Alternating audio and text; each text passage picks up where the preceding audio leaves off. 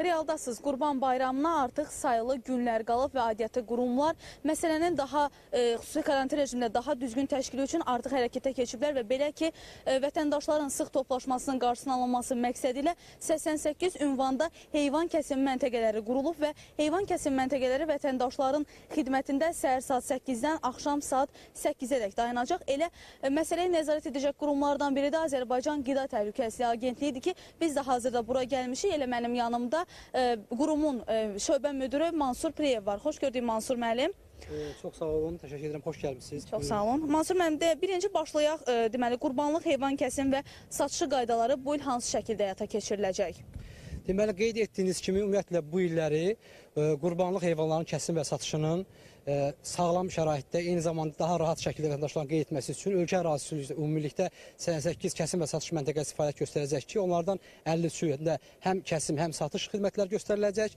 Deməli, 18-də satış deməli yalnız satış olacaq, 17-də isə kəsim xidmətləri göstəriləcək və mən qeyd etmək istəyirəm ki, bununla bağlı olaraq artıq bütün ünvanlar deməli media vasitəsilə ictimai təqdim olunub. Eyni zamanda agentliyin afsa.gov.az saytında vətəndaşlar daxil olaraq həmin kəsim və satış ünvanlarının demək dəqiq e, ünvanlarını əldə edə bilərlər. E, Bir məsələni qeyd etmək istəyirəm ki, e, bir neçə il artıq bu ənənədən istifadə olunur. Bu illər artıq o təcrübə daha da genişləndiriləcək.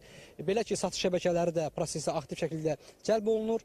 Bu nədən ibarətdir? İlk növbədə soyuducu infrastruktura malik olan satış şəbəkələri belə deyək də vətəndaşlara Qurban bayramından bir neçə gün əvvəl sifarişlərini götürməklə Qurban bayramı günü onlara həmin sifarişlər əsasında qurbanlıq heyvanlarının ətini, cəmdəyini çatdıracaqlar və burada əsas məsələlərdən biri də bundan ibarətdir ki, e, deməli satış şəbəkələri də hansı ki prosesdə qoşulan satış şəbəkələri də deməli öz kəsimlərini, heyvan kəsimlərini e, qeyd olunmuş kəsim məntəqələrində baytarlıq nəzarətindən keçmiş, eyni zamanda sanitar gigiyenik norma və qaydalara uyğun şəkildə həyata keçirməlidirlər və xüsusən də həmin heyvan ətlərinin vətəndaşlara sifarişləri əsasında çatdırılması mütləq deməli soyuq qida zənciri prinsipində həyata keçirilməlidir. Bu nədən ibarətdir?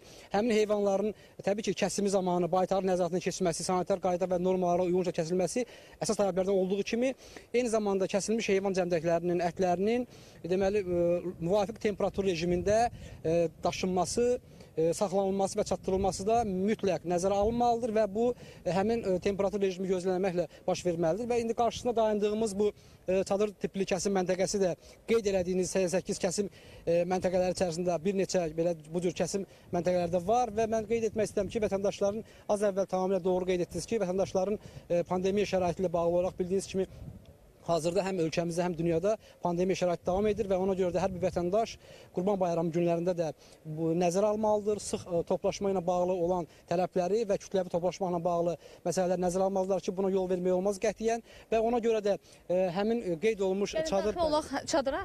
Bəli, e, deməli həmin e, qeyd olunmuş e, bu səyyar çadır tipli kəsim məntəqəsində də bütün məsələlər e, nəzərə alınır və təbii ki, burada əsas məsələlərdən biri də buna ibarətdir ki, heyvan kəsimi e, və zamanı Deməli, həmin heyvanın baytar nəzarətindən keçirilməsi və onun sanitar qayda və normalara uyğun kəsilməsi ilə yanaşı, eyni zamanda çarpaz çirklənməyə yol verilməməlidir və bunu mütləq şəkildə kəsim fəaliyyəti ilə məşğul olan vətəndaşlar e, nəzərə almalıdırlar, eyni zamanda sahibkarlıq subyektlər və ona görə də burada qurulmuş bu nümunə belə deyək, nümunə çadır tipli kəsim e, məntəqəsində də heyvanlar e, deməli baytar nəzarətindən sonra e, göstərilən bölmədə kəsim həyata keçirilir, qansızlaşdırılması həyata keçirilir və deməli daha sonra isə ikinci bölmədə həmin heyvanların, kəsilmiş heyvanların, qansızlaşdırılmış heyvanların cəmdəkləri təmizlənir və gördüyünüz kimi burada da heyvanların daxili orqanlarının çıxarılması və onların təmizlik işləri həyata keçirilir, e, müayinə aparılır tezdən həmin o e, e, baytar mütəxəssis tərəfindən və daha sonra üçüncü bölmədə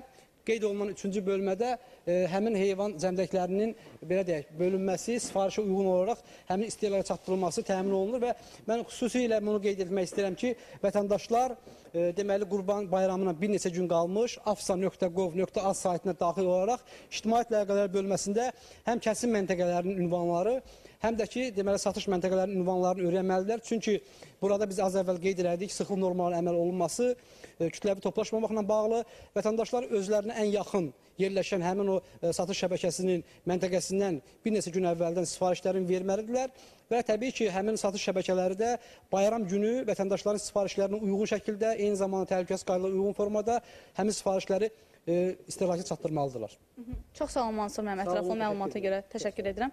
Gəldi qeyd edim ki, müsahibim Aktanın şöbə müdiri Mansur Priyev idi. Biz onunla Qurban Bayramında heyvan satış məntəqələrinin hansı şəkildə təşkil olunacağını və vətəndaşların qurbanlıq heyvanları necə əldə edəcəyi barədə geniş müzakirə apardıq. Mənim çatdıracaqlarım bu qədər. Siz isə ölkədə və dünyada baş verənlərdən xəbərdar olmaq istəyirsinizsə, mütləq şəkildə Real TV-nin efirini izləməkdə qalın.